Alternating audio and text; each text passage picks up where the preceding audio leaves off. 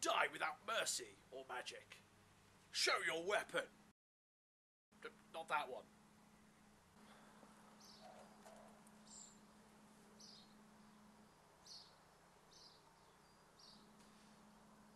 Insignificant.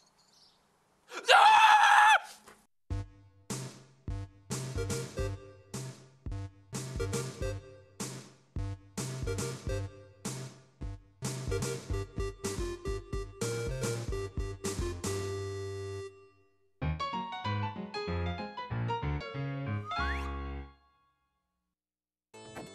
The early days of the Mega Drive were full of games where you moved from left to right, offing bad guys as you went.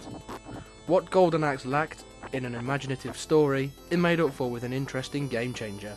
Magic!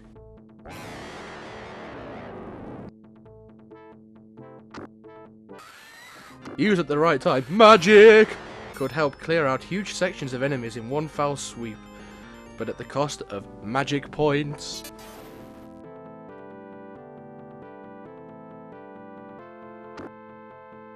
The gameplay, however, is very shallow, with only a handful of extra options to add to the value. The chance to ride animals is welcome but almost entirely superfluous.